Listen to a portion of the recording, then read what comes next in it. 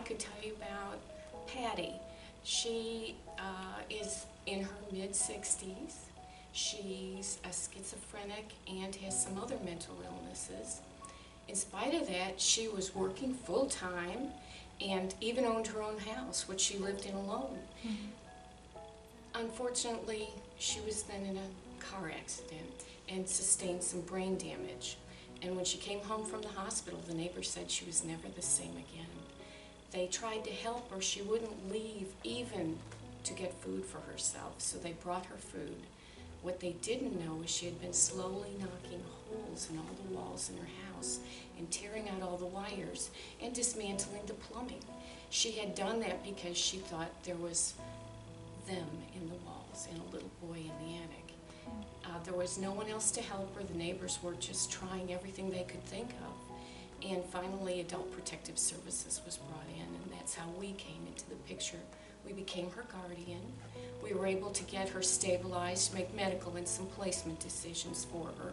And I'm happy to say she's doing wonderful now, so much better. But all of that is possible because part of our partnership with United Way. We had a sixth grader who's 13, and he'd been struggling in school for a very long time. And, and through time and working with a counselor from the, the United Way funded program, we were able to really meet his needs and identify the conflict. And let's just say, over the course of two years, he's making A's and B's. He's also got a visit from two representatives from Florida State University who gave him a promissory letter of intent, and this letter proposes a four-year scholarship to play football. So with that, he was able to identify a, a gift that he had, and now he has something tangible in his hand that says he's, he's important.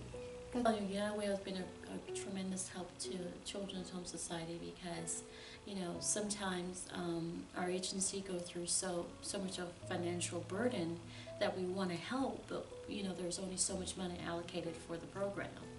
So with with, with United Way, you come in and you step in and you pick up the part that you know we can't do. We serve over 650 of Marion County's most vulnerable young children, those children under five and their families. And we could not do that without the support of United Way. In the very beginning, United Way made it possible for us to exist. We were a very tiny charity with mostly volunteers, and if it hadn't been for the support of United Way, we wouldn't even be here today. We couldn't do our work without donors.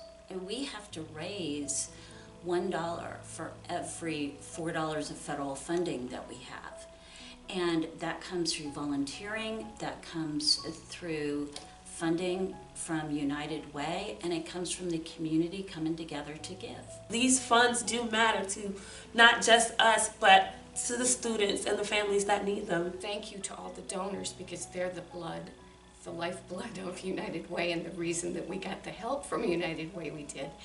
We've, we're a more mature organization now, thanks in part to them.